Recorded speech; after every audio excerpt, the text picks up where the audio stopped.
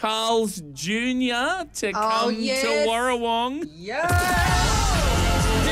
Jade and Straney. Now with Damien Leaf on Wave FM 96.5. Latest news to the Illawarra. Pick the one that you're most excited about. All right, okay, go you ready? Um, there's a walking trail.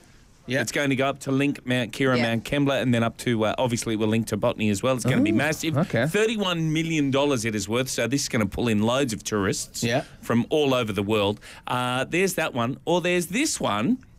Carl's Jr. to come to yes. Warrawong.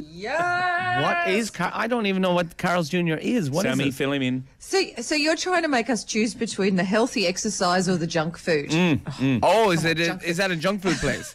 No, it's like a McDonald's kind of thing. It's a it's a huge burger chain. it's burger one of the biggest. How have you like never heard burger. of Carl's Jr.? They're in countries all around the world. They do amazing burgers, but they do this thing, this chili cheese fries. Oh, wait.